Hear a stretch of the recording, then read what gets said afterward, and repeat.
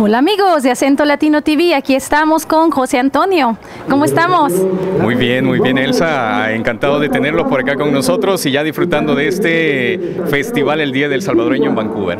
Así es, se va a poner bueno el pachangón, ¿eh? Está una línea de, actuaciones que tienen por aquí.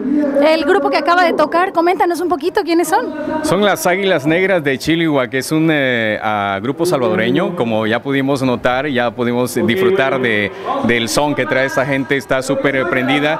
Y como tú lo mencionabas, tenemos un programa súper, súper impresionante este día, Elsa. Eh, un programa para que la gente lo disfrute de principio a fin. Así que vale la pena que la gente eh, llegue, que disfrute y que por supuesto que sea parte de este festival que para nosotros es muy importante. Claro que sí, es también como un carnaval, hay juegos para niños, hay los brincolines y ya este, están empezando ahí los chiquillos a jugar también y toda la familia incluida. Estos eventos en nuestra comunidad son importantes no nada más para los adultos, también para los niños.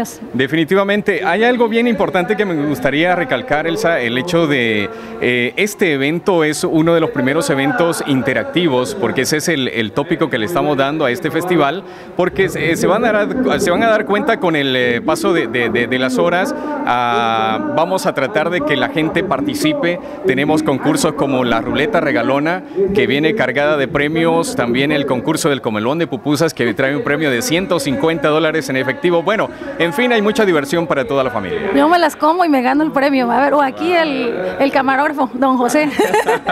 Así es, lo vamos a invitar a comer pupusas. ¿eh? A pupusear. Pues muchas gracias y felicidades a todos los salvadoreños en su día y vamos a seguir celebrando por aquí. Gracias, José Antonio. Por supuesto, gracias a ustedes, a Centro Latino TV y por supuesto eh, el agradecimiento de parte de la Asociación de Negocios Salvadoreños en esta área. Claro que sí, seguimos con más. No se vayan.